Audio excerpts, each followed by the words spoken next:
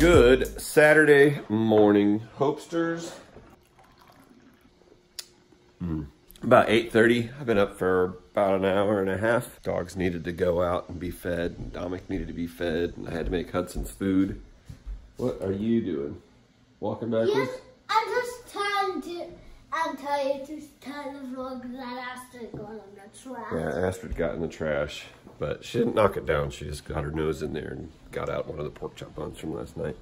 Let's see if this girl's awake. No, still sleeping. No, you're awake. Hi, you ready to get up? Hi, Shaggy Bears. You ready to start your Saturday morning? Oh, I love when you stretch. Reach for the sky. And reach up. Reach up high. Stretch up high. There you go. Woo, good stretching. I think that's seven times he said dad out there. Just a minute. Uh, apparently he left the bathroom door open, wanted me to close it all the way for him. Sugar Bears, you ready to get up and go have some breakfast? Hmm? Ready to get up and go have some breakfast? Yeah? Oh my goodness, let's go.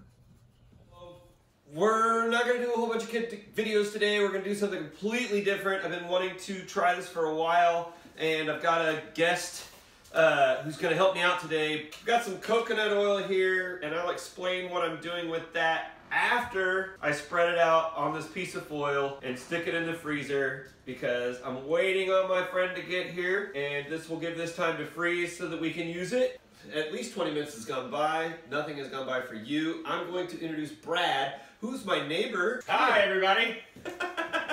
so Brad's gonna help me out today. Brad happens to be kind of a food expert. Brad is with a restaurant group called Riley Drive Entertainment. So they have locations here in Kansas City area and in Iowa, right? In the Des Moines market of Iowa, yes. Des Moines. So if you are a Des Moines viewer, check out, what do you got in Des Moines? Union 29 just opened at Jordan Creek Mall. We've got Saints Pub and Patio and Taco Hangover. There you go, Taco Hangover. We're getting one here, right? Uh, absolutely, in October. Stoked about that. Tacos. Speaking of tacos, so uh, we are going to try doing Impossible Burger today. Uh, never tried this before.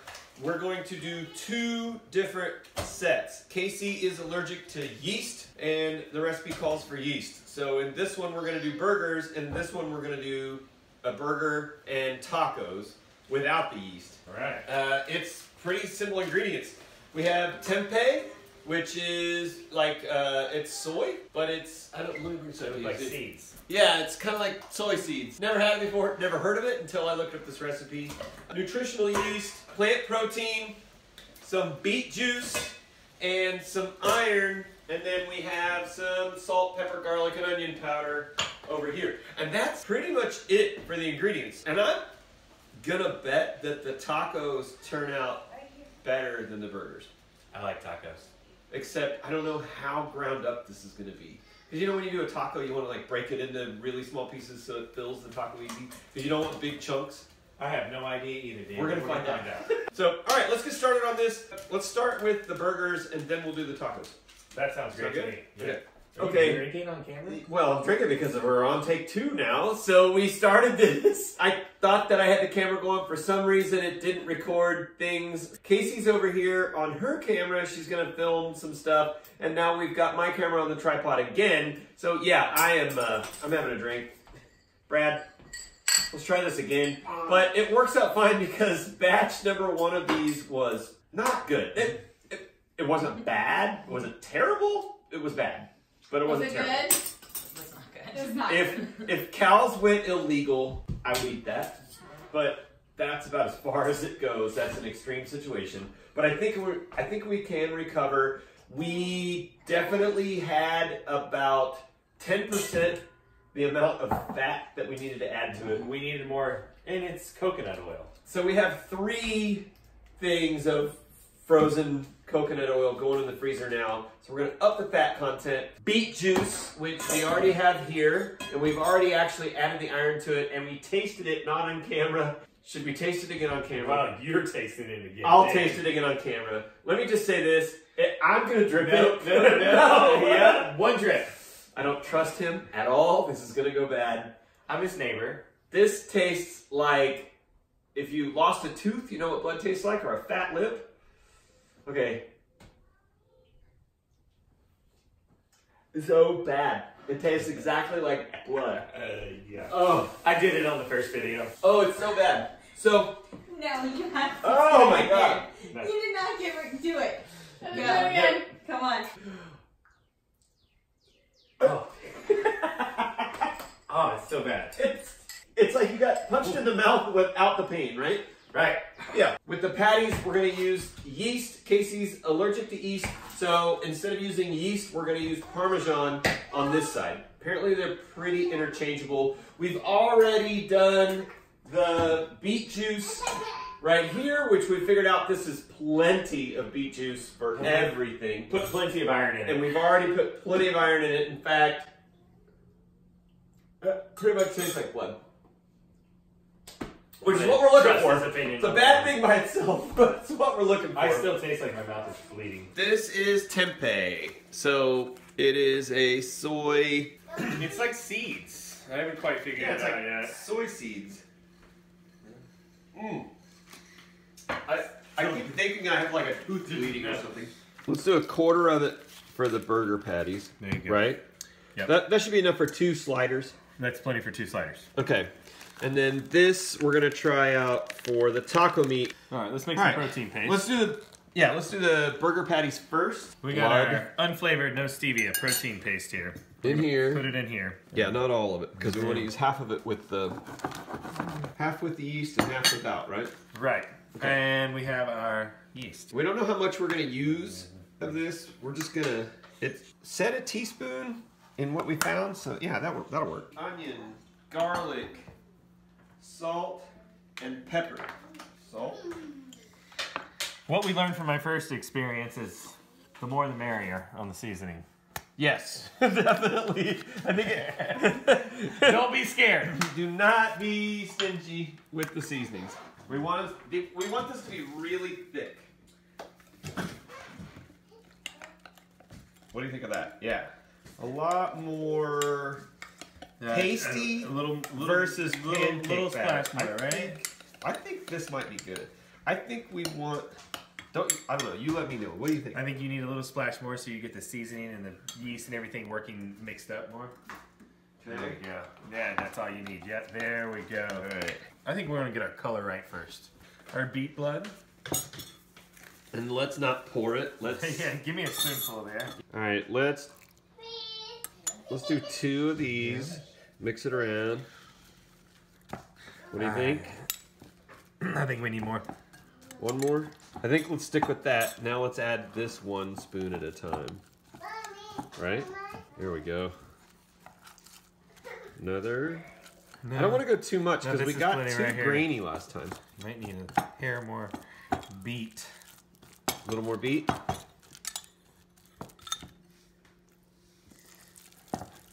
Okay, so what are we forgetting, Dan?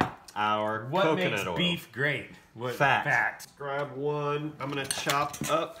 It says a cup, but we need like a half a cup because we're only using. What I read was about 20%. Right. So, Doesn't this look like about 20% of that? it might be a little heavy in my opinion, Dan. We want it to be heavy though, right? Or do we? Yeah, I think we want to shoot for somewhere around 20%. Okay. Now, Look at those are fat globules. like fat chunks, right? What do you think, Brad? All of it or Third half of of it. it? A third of it. Okay. Here. More. I want that middle section. All right. And fat. Oh, yeah. Look at that, Dan. I feel like. Nope. Calm down there, Captain. Yeah. What do we think of Brad? It's not quite holding together like I wanted to. We might need a hair more protein. A little more protein. A little bit more. See how it's Okay. kind of falling apart? You want that to stick together. This is our binder. Okay. All right, let's bind that up. It feels like ground beef now. Does it? Two patties out of that? Well, we can make two More fat. Heck with it. More fat, the better, right? Any more beet juice? I think so. You think? I'd like Okay. half a spoon. All right. It does need to be a little more red, doesn't it? That was definitely not half a spoon, Dan. Too runny? Dang it. Too runny, isn't it? Maybe not. This is. It's looking, it's looking good. I'm, I'm gonna start the stove. Patty number one. Okay. Think it'll firm up when we cook it? I think. I mean, that looks like. From over here, it looks like ground beef, Dan. Okay, well, let's mix up some uh, taco meat while we're Yeah, let's let's mix. Yeah, good idea. Okay. Okay, and we got to get rid of this because we can't have the yeast in. it. I got faith in the taco. There's very few tacos that let me down in It's my life. pretty hard. Like you can have pretty crappy meat and make tacos out of it. That's what I'm saying. very few tacos that let me down in my life. Right. We're adding more color. We're going for the taco meat while we heat up the pan. We're add- throwing them in. See how they come out. So we add some garlic and salt. We definitely got it solid. I mean, Yeah. you season burgers when you fire them down. taco seasoning. Tajín taco seasoning, lime, chilies. Awesome. Find it at your local Mexican market. Definitely. Chili powder, cumin, Cayenne, spicy, just a couple dashes. and a bunch of onion powder and salt and pepper. Always salt and pepper. How's it looking? Smelling better. Oh, look at this. It's definitely smelling better. Oh yeah, look at the fat coming out of that. Yes. You can see the difference in the seasonings in this one. A lot darker. Mix that in. More binder. Not gonna lie, Dan, this looks like beef tartare. But no beef. Few capers, some parmesan. We're onto something here. Put it on a cracker. Okay. All right. you know what what makes taco meat amazing, Dan? what? Fat. Fat. So here's the rest of what This we looks like just beef. used. This is impressive. How's that going over there? Oh, let's check them out here. While I chop up the fat, Ooh, ooh, we got a little crispy there, but you know, we're learning here. Ooh. That's not pretty. I'm sorry. We got our pan a little hot, Dan. The temperature too down. high, too high. A little too high. Yeah, it's okay. We'll back off a little bit. Learning process. That's okay. I would eat that. Yeah. That's all right. Let me know when you think we have enough fat here, Brad. I tell you what, I this it looks like beef. Weird. Weird. We're we're styling in the fat department over here. I don't think we need this last batch. Okay. Oh man, look at this guy right here. He is just looking delicious. I think uh, it's time for Dan to have himself a burger. Little plate. Do you want melted cheese on it? Yeah. The extra crispy one gets the cheese. Alrighty. What? We need a little lettuce. True veggie. Where's the bun topper? The Bun topper. Ketchup mustard for you. Ketchup Ketchup mustard. mustard. for me. Do you also want? Mm, yes, sir. Okay. You got the other bun topper, Uh, Dan. It was there. Oh, here it is.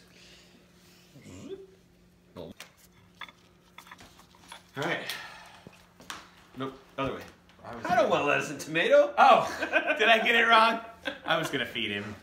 That'd be full on two veggie burger for me. It's falling All apart. right. What does it look like? What does it taste like? It is much better than our first go. Still a little pasty. It has the consistency of a crunchy refried bean, It's pretty good. but but taste wise, it tastes like a burger. It's mushy. I'm not gonna lie. My theory is taco meat's gonna be better than the burger. so much better. So much better. it just doesn't have the the the bite. Cannibal could Build it squeezed out. everywhere. Here, yeah, well, that's my point. Here, look, come close. It it mushes. Ew. I've had worse burgers The at more popular restaurants. I mean, I would eat this. I won't eat a Boca burger. I don't like black bean burgers. I think they taste terrible. They taste nothing like a burger, although the texture is really close. This is the other side of that coin, where it tastes so much like a burger, but it's mushy. I don't know how to make it less mushy. The texture is off. Okay, let's make some tacos. Looks like ground beef mixed with some onions. I'm about to But cook this shouldn't off. it be fattier? Is it taco meat usually pretty fatty? Would you like some more fat in it? No, but let's add more fat. Let's add I more mean, fat's where it's at. I think they call this a 60-40 blend. I feel like this is going to be the win. I'm down. I'm down. Brad, how, how much taco meat have you cooked in your life? 973,000 pounds. Sorry. We might have to drain this before we make a taco. I mean, Dan. It's gonna be a greasy taco. I mean, it looks like I'm cooking beef over here right now. That's crazy. Let chop up this. The problem is, everything I know about cooking is that it's not changing its appearance as it cooks. I know it stays. Red. Yeah. Because we dyed It doesn't quote unquote brown. Right. Mm. Well, delicious. Way better than the burger.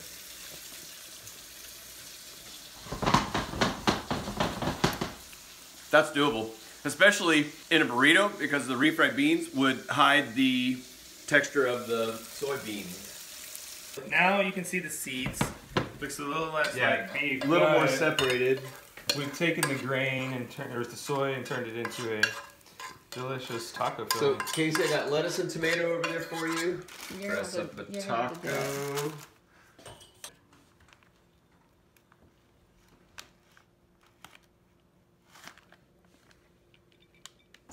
it's gonna be hot.